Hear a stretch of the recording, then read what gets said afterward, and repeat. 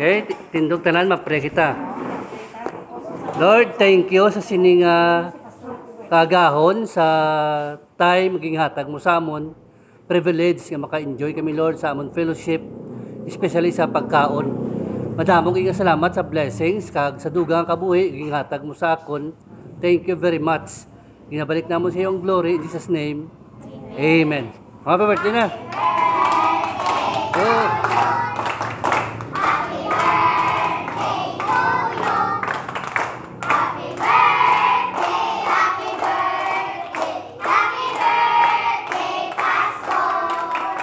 Amen.